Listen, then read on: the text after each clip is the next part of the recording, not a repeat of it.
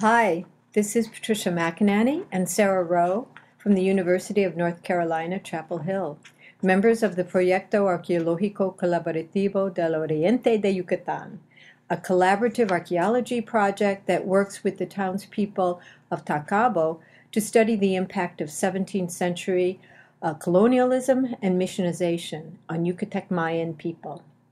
Along with Dr. Ivan Batun of the State Archives of Yucatan, we are mapping and surveying the colonial site of Tahcabo while also engaging in dialogue with the community about local heritage and conservation. Our project is focused on the town's central plaza, which includes a pre Hispanic pyramidal shrine and an adjacent 17th century church. The church sanctuary has experienced several periods of remodeling and reuse, including the enclosure of windows and opening of new niches, and was likely used for defensive purposes during the 19th century caste war.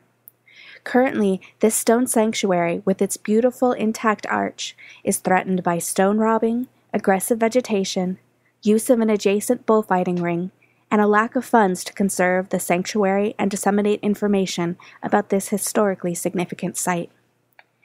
With the AIA Site Preservation Grant, we will initiate new collaborative activities with the community. Members of the archaeology team will meet with the local heritage committee to coordinate research and action plans. We plan to host Heritage Nights in order to provide a forum for discussion of heritage issues with the entire community.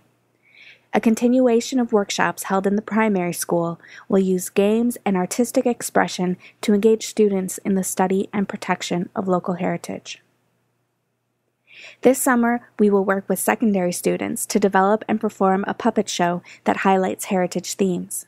We will also create a heritage room in the town hall where we will collaboratively design and install durable display panels featuring the history of the town from pre colonial to recent times.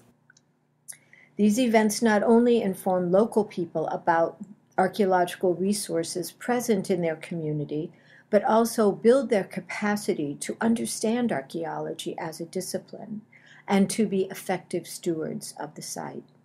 We send our heartfelt thanks to the AIA for providing us with the resources to continue this work. Mil gracias.